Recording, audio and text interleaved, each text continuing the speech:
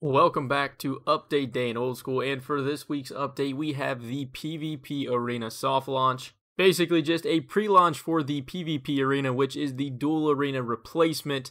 First things first, I do want to note that no matter what, any rank or reward points you earn from now until next week's full launch will be completely wiped, so you will lose all of that progress, so do not start grinding this game out just yet. But in this video, I'm kind of going to give you everything you need to know surrounding the basics of the PvP arena and how it's going to work. And to kick things off, we have setting up. You'll be able to find opponents and set up matches in the same place you did in the duel arena. You'll also notice a couple of new NPCs will have a few different talking options. One of these NPCs will be the 1v1 tournament guide, who will be able to tell you everything you want to know about any of the 1v1 tournaments. And then there'll also be a duel guide who will help you if you want to fancy a one-off fight. For the grouping system, to set up a fight, you'll need to check out the notice boards, which will be these two boards right around here. And looking at them now, they look pretty self-explanatory. The one on the left looks like the 1v1 tournament board, whereas the one on the right looks like the one-off specific player fight board. By using these boards, you can find a match or even host your own tournaments. And another thing to note, if you are on a dedicated PvP arena world and know the name of one of the players fighting, you can't actually watch their fight from a spectator point of view.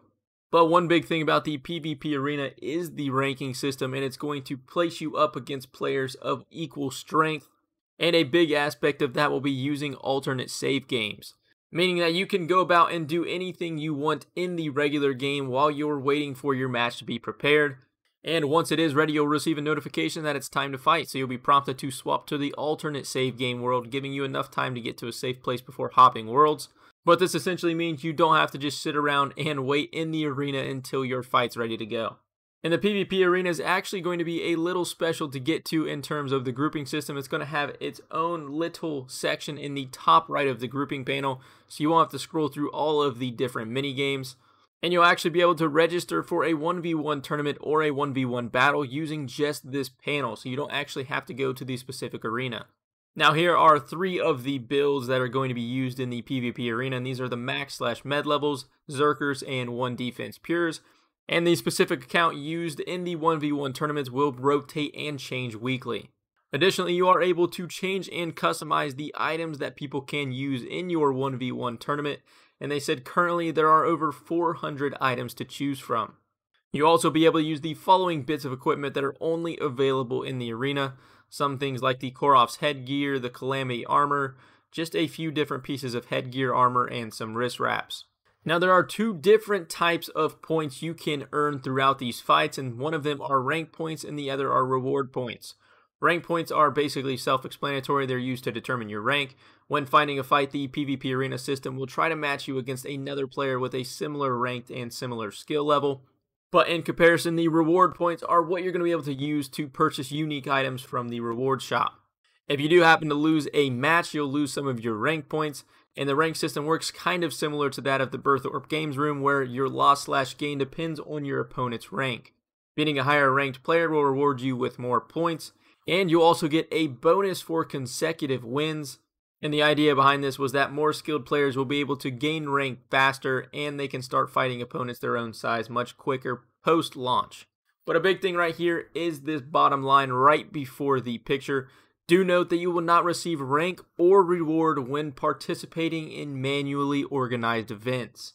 So this is a big one, meaning whenever you set up your own stuff or you do have a one-off fight, you will not gain rank or reward points if you do happen to win it. The 1v1 tournaments will work very similar to that of like a Deadman Finals.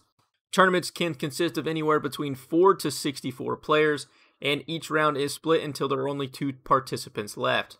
And the counter to the massive 1v1 tournaments, you'll also just be able to have ranked 1v1s.